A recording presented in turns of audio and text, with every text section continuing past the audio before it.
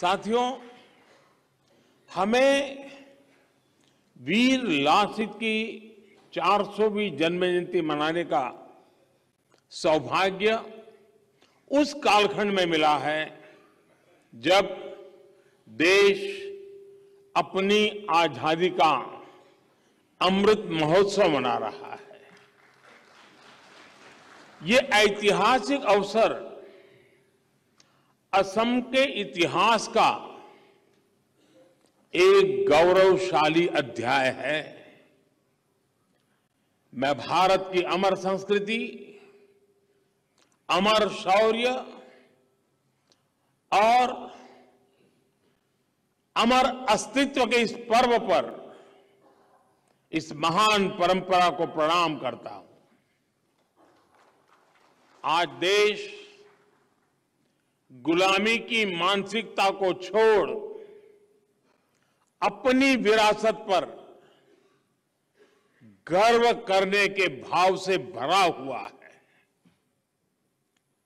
आज भारत न सिर्फ़ अपनी सांस्कृतिक विविधता को सेलिब्रेट कर रहा है, बल्कि अपनी संस्कृति के ऐतिहासिक नायक नायिकाओं को गर्व से याद भी कर रहा है। लासित बोरफुकन जैसी महान विभूतियाँ भारत माँ की अमर संतानें इस अमृत काल के संकल्प को पूरा करने के लिए हमारी अविरत प्रेरणा है, निरंतर प्रेरणा है।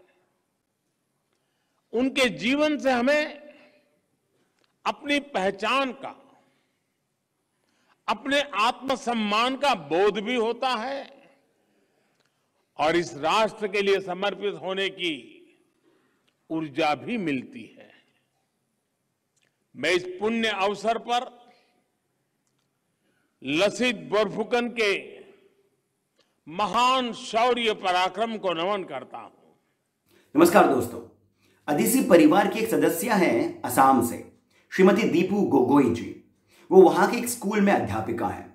उन्होंने हमसे उस स्कूल की कुछ फोटोग्राफ्स और वीडियोस शेयर करे हैं, जहाँ पर ये स्कूल लाचित बोरफुकन, जो अहोम साम्राज्य के एक महान सेनाध्यक्ष थे, उनकी 400वीं वर्षगांठ मना रहा है। इस वीडियो में आपको भाषा शायद समझ में नहीं आए, पर भावना और उद्देश्य अवश्य ही समझ में आएँगे। एक बार आप इन वीडियोस को देखिए। उसके बाद मैं आपसे छोटी सी बात करना चाहूँगा।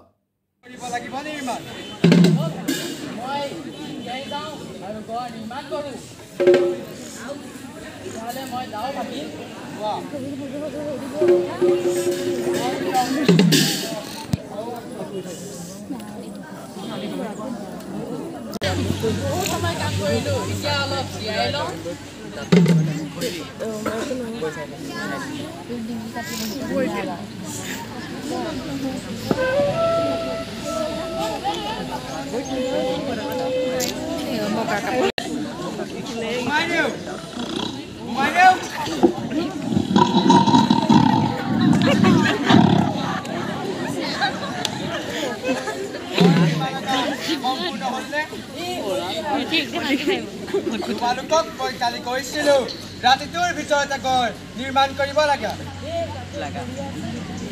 তোমালোকে কি কৰিলা। দেশতকৈ মই ডাঙৰ নহয়।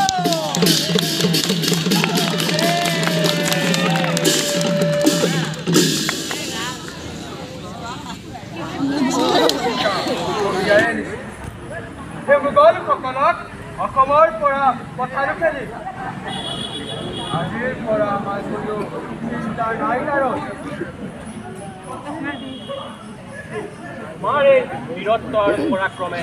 ভাল পাইছোঁ তোমাক বৰ সেনাপতি আৰু বৰ ফুকন পদত নিযুক্তি দিলোঁ।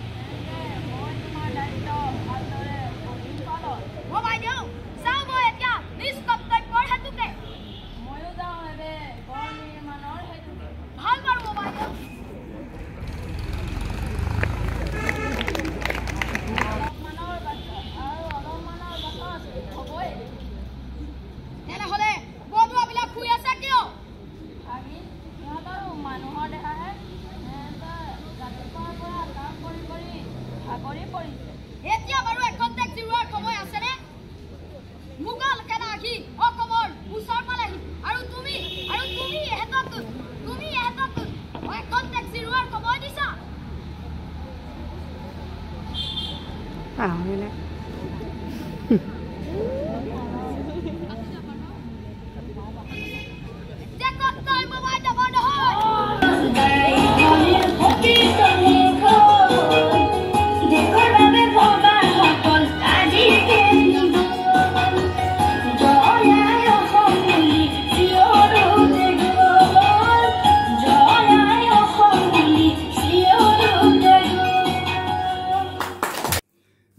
पर एक छोटी सी बात पर विचार करना आवश्यक है कि क्या लचित बोरफुकन केवल असम के ही पूर्वज थे? या फिर पूर्वोत्तर के जितने भी महान सेनानी, क्रांतिकारी, महान आध्यात्मिक व्यक्ति भी रहे हैं, क्या वो केवल पूर्वोत्तर के थे? क्या वो पूरे भारत के पूर्वज नहीं हैं? यदि ऐसा है तो फिर ऐसा क्यों हुआ कि लाचित बोरफुकन का जो चार सौ वर्षगांठ है, वो केवल असम में ही मनाई गई? केवल पूर्वोत्तर तक ही सिमट करके ये रह गई बात, और पूरे भारत के स्कूल्स में इसे सेलिब्रेट नहीं किया गया। पूरे विश्वास के साथ मैं कह सकता हूँ कि कितने ही बच्चों को, कितने ही स्कूल्स के प्रिंसिपल्स तक को ये नहीं पता होगा कि लाचित बोरफुकन का ये चार सौवीं वर्षगांठ थी। तो अब आप ही समझिए कि किस प्रकार हम अपने बच्चों को इतिहास से रूबरू कराएँगे, किस प्रकार हम उन्हें अपने भविष्य के लिए गर्वान्वित कराएँगे। बहुत आवश्यक है कि हम सभी पीढ़ियों के लिए अपने इतिहास को सजीव रखें और इसमें परिवार की ज़िम्मेदारी तो बहुत अधिक है, पर साथ ही साथ स्कूल्स की भी ज़िम्मेदारी बनती है। इसी छोटे से विचार के साथ मैं सिद्धार्थ आप सभी से जाने की अब अनुमति लेता हूँ। बहुत बहुत धन्यवाद। दोस्तों समय समय पर आपका श्री सहयोग जो हमें मिलता रहता है, वो हमें बहुत मोटिवेट करता है। आपका यही जो सहयोग है, यही हमारी ताकत है, यही हमारे विचारों की गति है। और इसी कारण मैं आपसे पुनः आग्रह करता हूँ कि अपना श्री सहयोग हमें आप प्रदान करते रहिए।